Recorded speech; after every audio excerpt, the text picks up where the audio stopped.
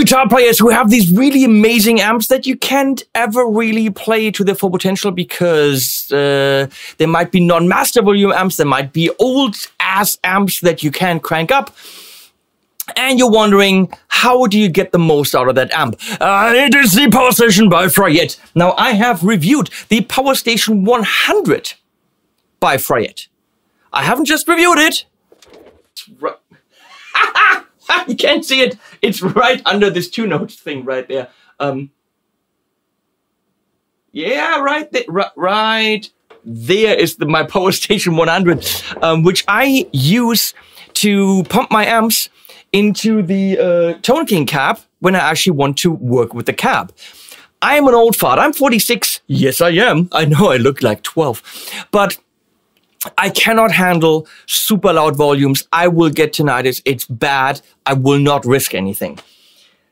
But when you have a non-master volume amp, like a Plexi kind of a thing, like the uh, uh, MVP 66, which has a semi kind of master volume, but an old style amp, you need to crank them. And any amp, realistically, you need to crank it to a volume where it works and sounds good. No tube amp is ever quiet or ever sounds good quiet which is where the power station comes in. It is an attenuator. It makes your amp quieter. But a lot of attenuators can be passive, meaning they don't even need power. They just make your amp quieter, works, work, they work with the amp's power and uh, put less of it into the cab. Now the power station has a full tube amp inside. And the benefit of that is that you can also make quiet amps louder. It's completely up to you whether you tame your big beast or make a beast out of your tame amp. Ah, see what I did there.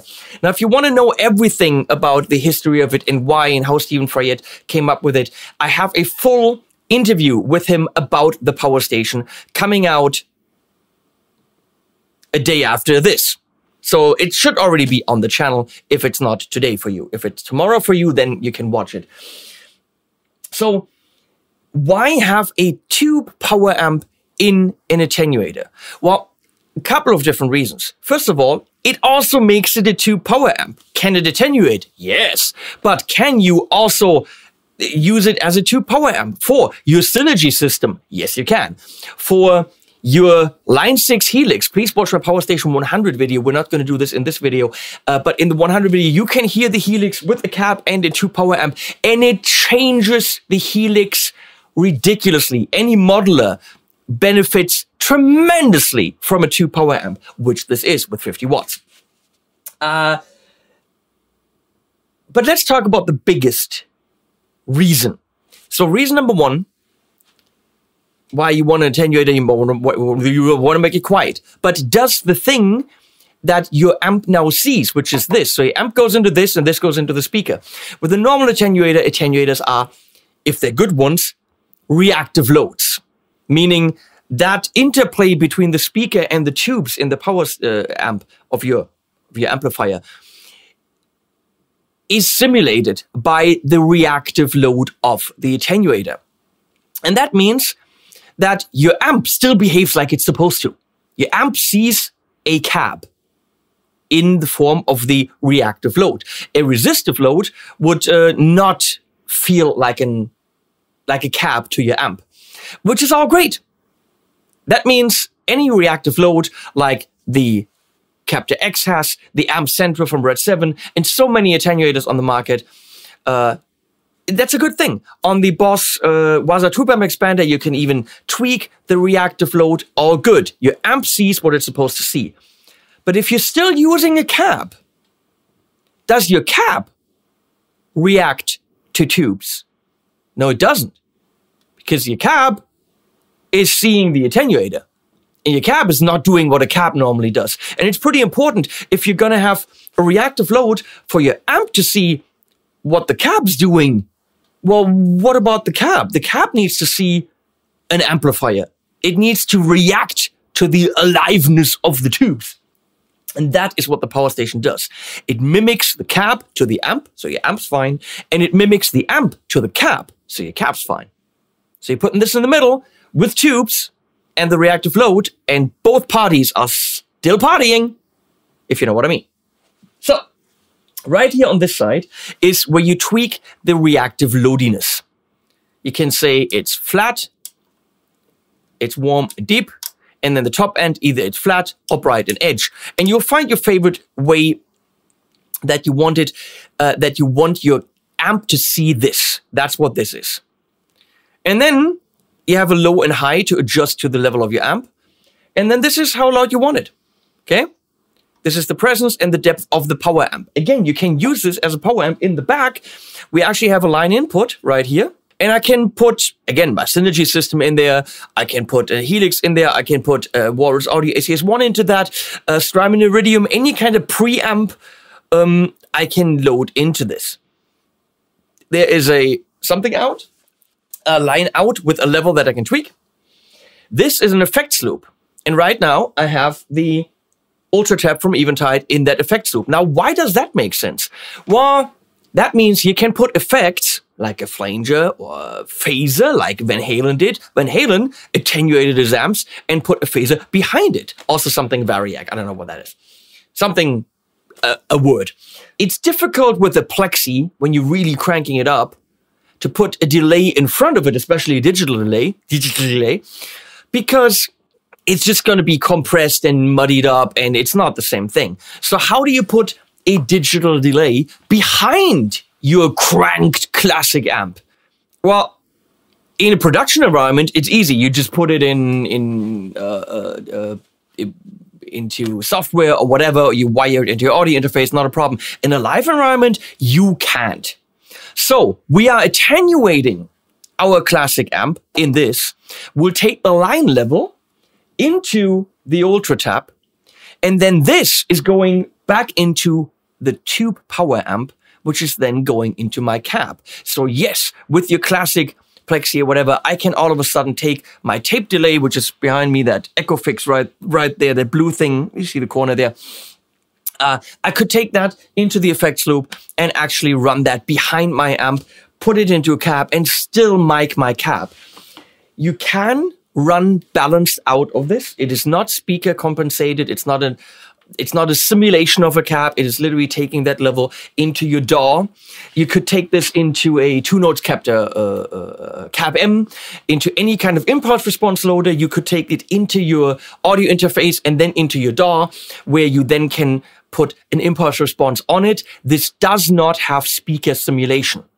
The main idea of this is attenuator and power amp still work with the real cab live and mic that, but at manageable volumes. You cannot run a JCM 800 or a Plexi in a small club. With this, you can. By the way, this is also rack mountable. You can get rack ears for this.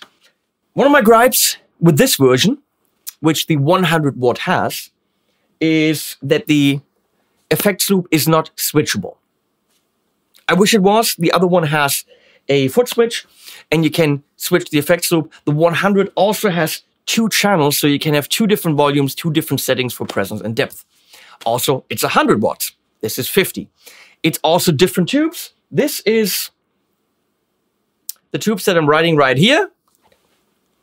And the 100 is the tubes that I'm writing right here. I should know this, but I forgot. And that's how I am. So, you can turn this off and now it's not attenuating at all. It's just pumping the amp straight into the cap. I'm going to be careful with that. Um, then, okay, we got the balanced out. Uh, then we have the amp in. You can switch it right here to different ohmages. And then there's a speaker out and a second speaker out.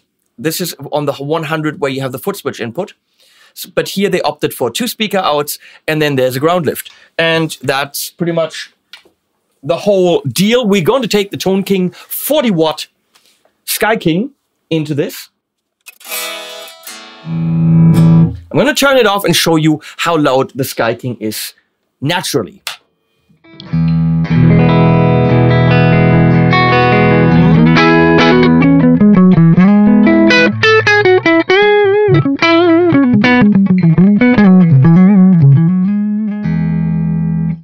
Already too loud for me to comfortably play it in the room.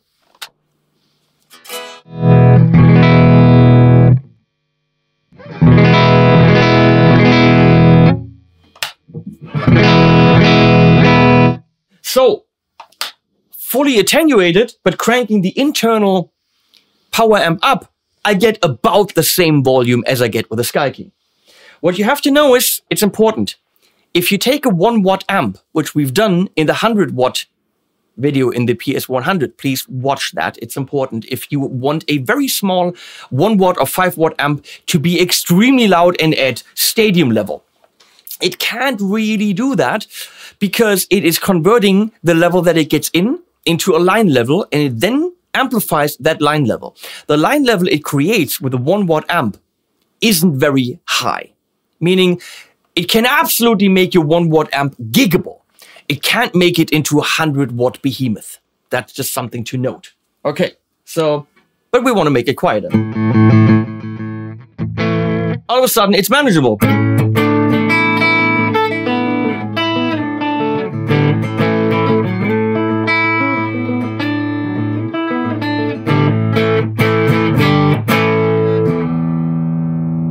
Let's find out. So I'm on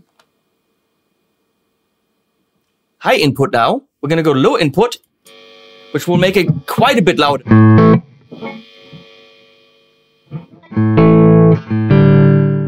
So my 40 watt amp can actually get louder.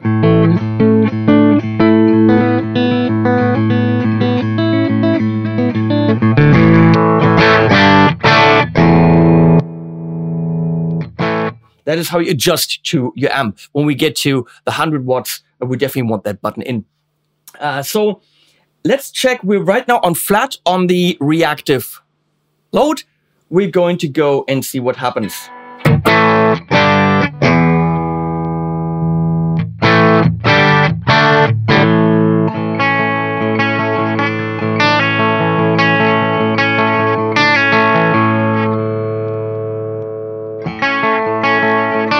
That definitely adds warmth. It says warm, and that's exactly what it does.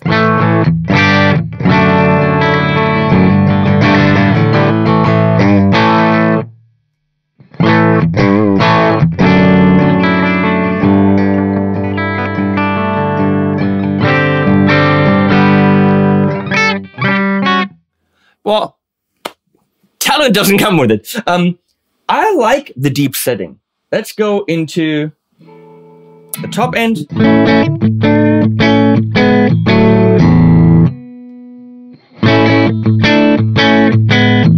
That's got a spike! That should be called spike, not bright, but nice.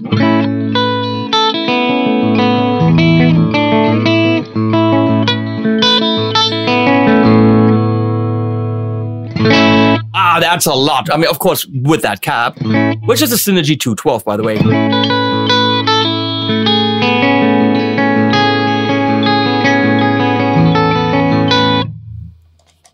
Hey, Ultra Tap behind my amp.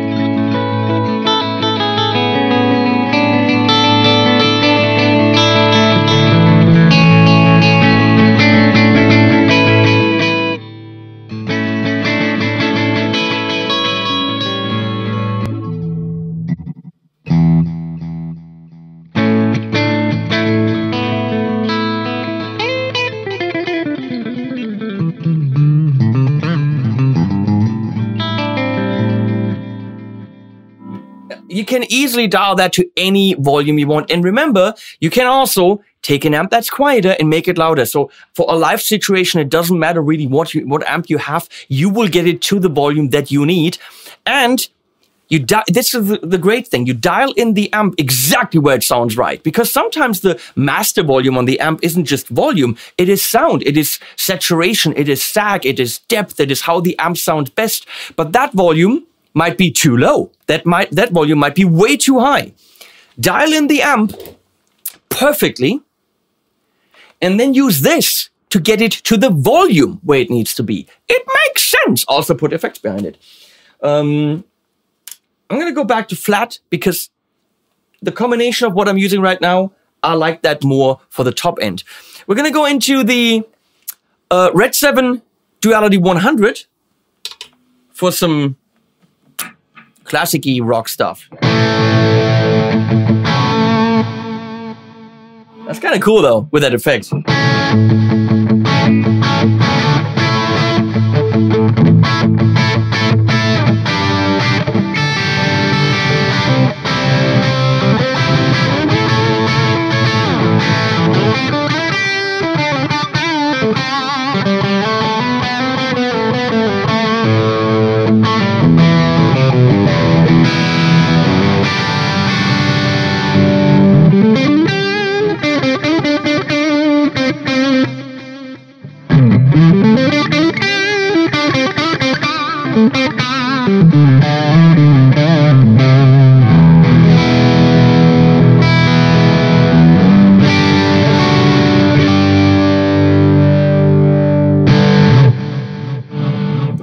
Just a quick, uh, I actually think that the um, balanced out doesn't have the effects in it. What we're qu- quickly going to do, and that's going to sound pretty bad because it's a DI signal, I'm going to record that balanced out. Yeah, I mean, obviously you would, you would have to put an IR on there just to let you see that uh, it's actually working.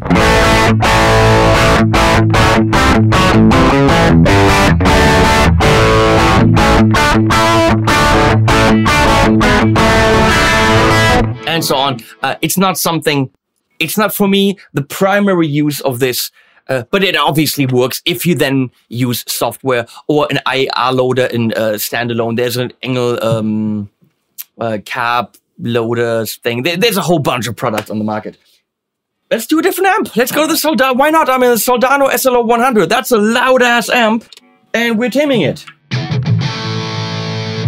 And we're putting cool stuff behind it.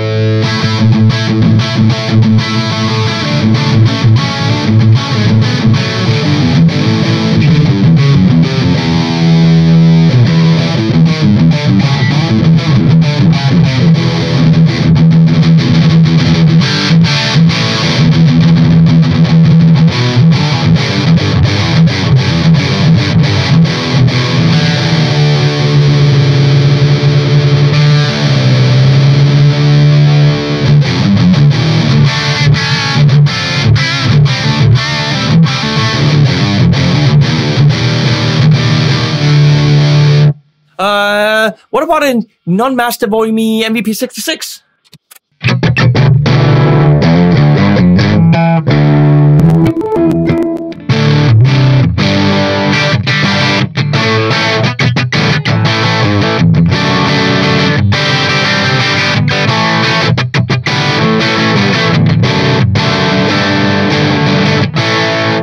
Amp does not have an effects loop. Ein, eff- it doesn't have an, an effects loop. Now it has an effects loop.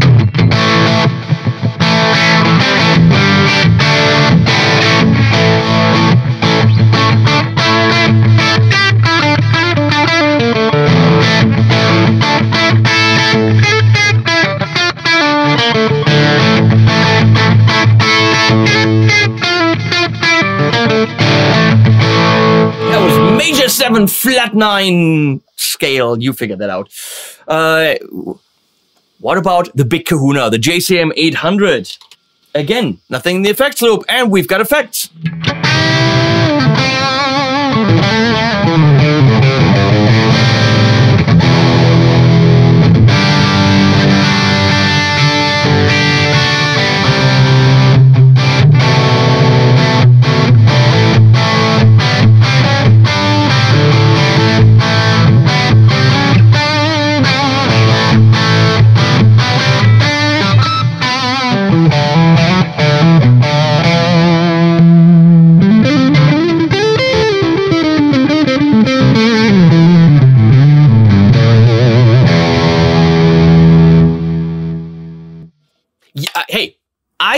A huge fan of the Power Station. I never believed hype, but when you play it, that cab feels exactly like it should with an amp on it. It is as if this thing isn't there, but it is volume controllable. It's also very clearly tonally controllable. I love the simplicity of the tweakable uh, reactive load. And I love the fact that you can take a model and make it loud, that I can amplify anything I really want to with the line in. Uh, I love the fact that it has an effects loop, which really expands the possibilities of a bunch of amps. I don't like the fact that it isn't switchable on this. I'd rather have a look, watch my video with Stephen. We're discussing that, and I'm getting on his nerves about that, but that's my job. Price wise, this isn't too far away from the 100. I don't think that price is what determines whether you get the 100 or the 50. Uh, tube selection might be, and do you need two speaker outputs? Do you need a one speaker output but switchable effects loop? Do you need the two different channels, meaning two different volumes? Oh, we never looked at the presence and the depth. Should we do that? Yeah, sure, let's do it.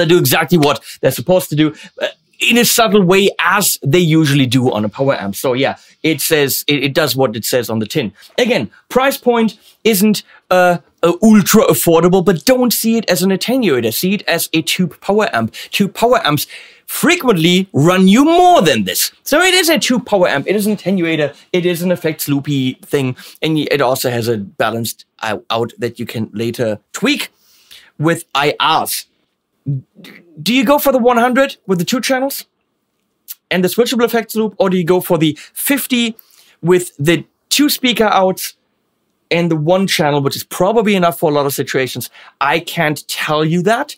You have to know price wise, they're not too far apart. So I don't think that you're going to go for the 50 to save a couple of bucks if you're already shelling over that much money. I am converted I always thought this much money for an attenuator, but it isn't just an attenuator. It comes handy in a lot of situations and when you're playing with a real cab, not just DI and headphones and monitors and all that stuff. I absolutely think that there is no equal to the Fryette power station. That's all I can say. I am being paid to make this video. I'm not being paid to say this. Steven's a nice guy, but he can't buy my opinion. Fuck you, Steven. I mean, from from the heart, you know. You know. Um, fuck you from the heart. I'm sorry. Um, no, he, we wouldn't, he wouldn't even try. It's a good product, period. Watch the interview I did with him where I get on his nerves about stuff. Uh, it's coming tomorrow. Thank you, uh, Stephen, for sending this. Uh, thanks, Jürgen, for actually bringing this over. The distributor himself dropped this off. Um, and we're going to put links below and animals at the end.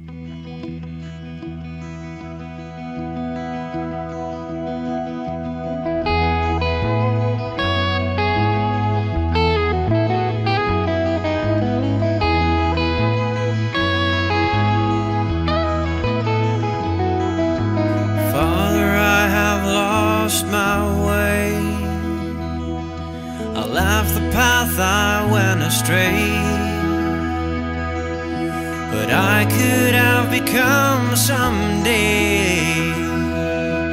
Father, have I lost